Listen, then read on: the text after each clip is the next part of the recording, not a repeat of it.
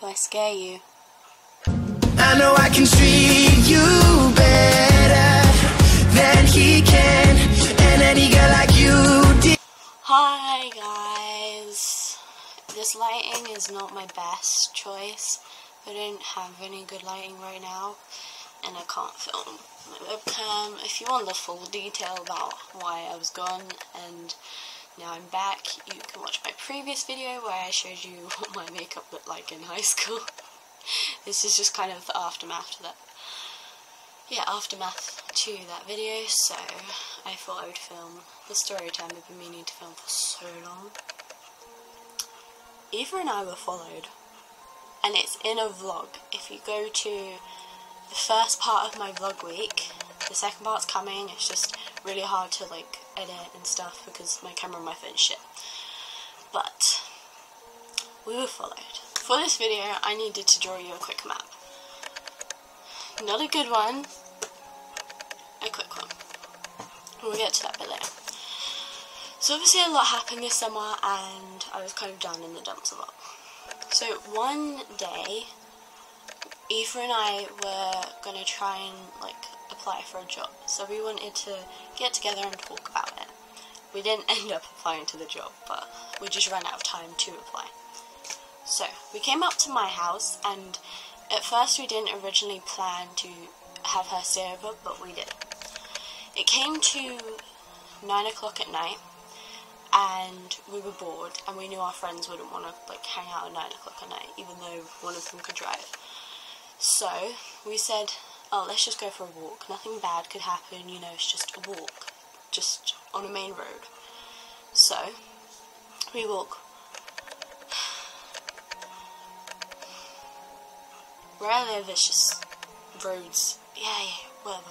We walk up that way, which is my right, and we go. I would draw in the back, but there's no back. But we just go all the way up around the back, and then we come back down the main road, and then we turn left. And if we continue going that way, we would be going to town. So I said to her, let's not like go too far, because you know it's like nine o'clock at night. I want to stay near my house. So we said, why not go to the park? There's a Pokemon gym in there. And we didn't go too far into the park. We walked into the park, we stopped, we got the Pokestop, and then we just continued walking. It's pitch black. There are some lights on, and there are cars driving in and out of the park, which kind of freaked us out because we were just like, oh my god, what if we got kidnapped? That's a really ironic thing that we said. We were kind of in a bad place. Well, I was in a horrible place at this point. But I kind of, we were kind of joking. We kind of said, oh, I wouldn't mind getting kidnapped, you know, like something. And then that comes later in the story. That's why everything's ironic later in the story. So we go to the park and this car drives in and we got really scared by the car. So we kind of hid behind the Pokemon gym. It was like an owl thing. I'll insert picture here. And we hid. And then the car looked like we waited there for like five minutes, and the car looked like it was gonna pull out again. So we were just like, fuck it, and we legged out of the park. Now, this is where my little map comes in. We are here, that's us. Okay. Imagine a bit further back. We're walking, and I kind of hear a guy behind us, and I'm like, oh, someone's walking up the hill. We should probably shut the fuck up. They'll probably think we're drunk and weird. So I said to Aoife, hey, there's someone behind us. We should just like quiet down a bit. She's like, hey, what? There's someone us. I was like, no, no, no. They're just walking. It's just, you know, we look kind of weird, you know, breathing heavily after running out of a park at night. So she's like, oh, okay. But she was suspicious of him immediately. I wasn't because I was trying to give the guy the benefit of the doubt.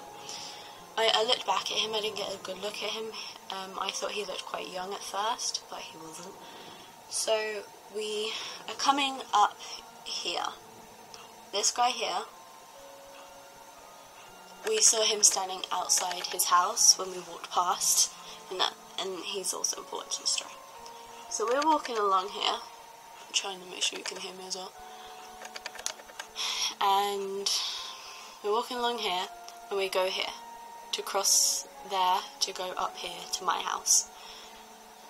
it was actually Aoife because she was planning to check if he was actually following us or not. We were gonna go here, but she stopped at the last minute and she said, "Let's just keep walking." You know, I was kind of confused. I only said, "I'm not gonna give exact details because it's like two weeks ago. I can barely remember it."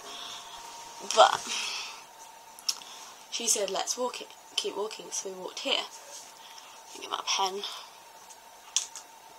And then as I looked back here, so we walk this way, and as I look back here, this guy here has crossed the road.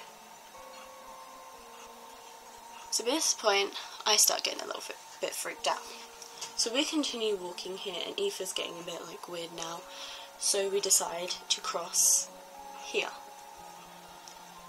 Right as we're about to cross, this guy is like here, and Aoife's like there.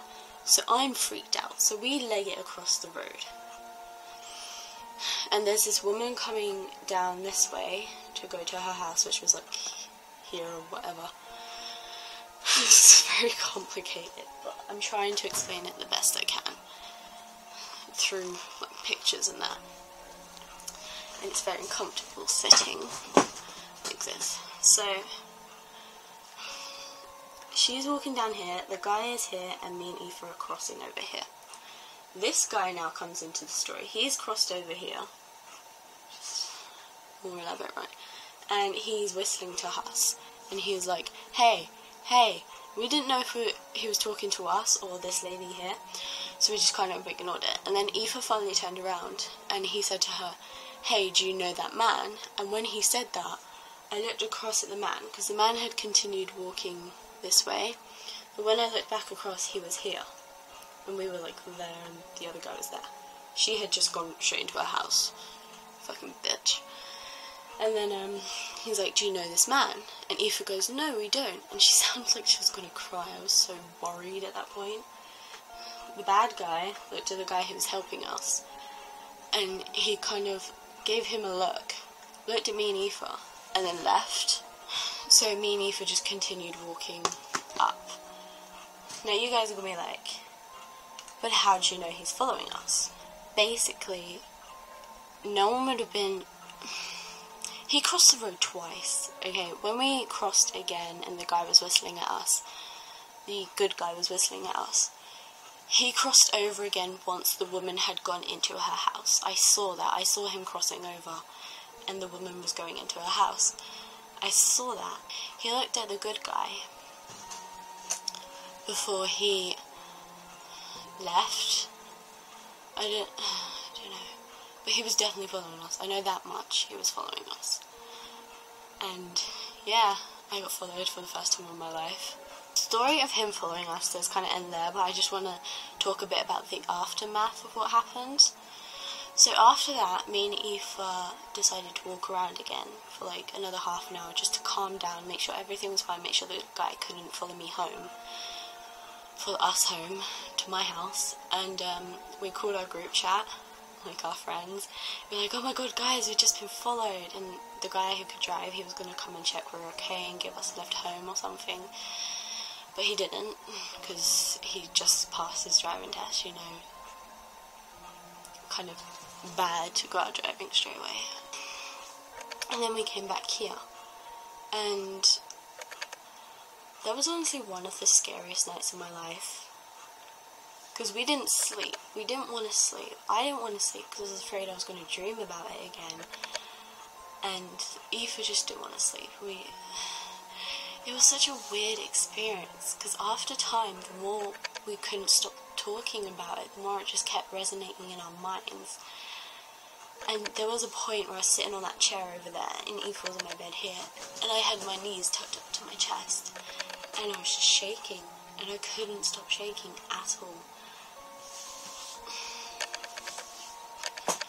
We met up with our friends the next day, and they had kind of brushed it off because nothing happened. I'm not saying they're bad people for doing that, it's because they've never had it happen to them. honestly, when you're followed, it is the scariest thing in the world. Even though nothing happens, they don't come near you, they don't talk to you. It's still scary because something could have happened. I've obviously moved on now because a lot worse happened after that, which again, personal, can't talk about. But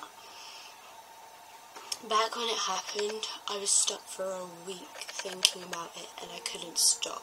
It was horrific. And it always annoyed me that my friends brushed it off. I, I kept trying to make them understand how terrified I was of the whole thing. My friend asked Aoife, Bobo asked Aoife, and he said to her, So which one of you two was more scared? And I don't know what Aoife said, because I was standing off at the side, because you know, ex boyfriend and awkward. And I heard that question in my mind. I went, Me. I was more scared. And I was. I was fucking terrified because I'm really fragile. And I've only just realised it in the past like two weeks. So, I just wanted to talk about that a bit more, about people brushing it off, because it's not right to brush it off. If someone's followed, comfort them, because it's fucking terrifying. If something happens or not, it's fucking terrifying. I swear to God. That's basically what happened. I didn't get hurt, Aoife didn't get hurt, we were fine, but we were terrified. That's important.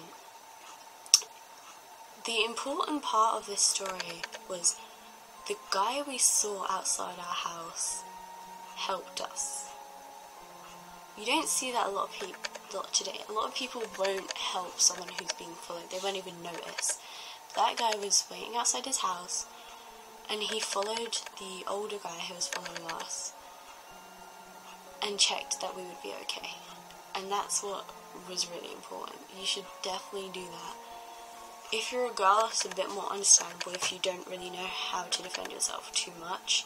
But if you're quite confident that you can defend yourself or you just want to help out someone, do it. It will honestly help someone a lot. The next day, when we met, went to meet our friends, I had my keys in my fingers. That's how scared I was. I couldn't be normal about it. From the description Aoife gave me, the guy was bald and he had glasses. I think he was bald, I think. Because she saw him better than I did. And when I was going to meet my friends again, like a week later, I thought I saw him. And I don't know, because I don't know who he is, and I don't think I'll ever know who he is. But it's scary to know that he could have done something and he's still out there. So Bit of a dark tone to the video, but overall an important message. Help them if they're being bullied, if you notice it. Thank you guys so much for watching. Leave a like and share with your friends. to Get a message out that you should help people more. And I shall see you guys next time. Bye. Jesus, uh, gentleman, tell me why are we wasting time on all your wasted crime when you should be with me instead? I know I can treat you.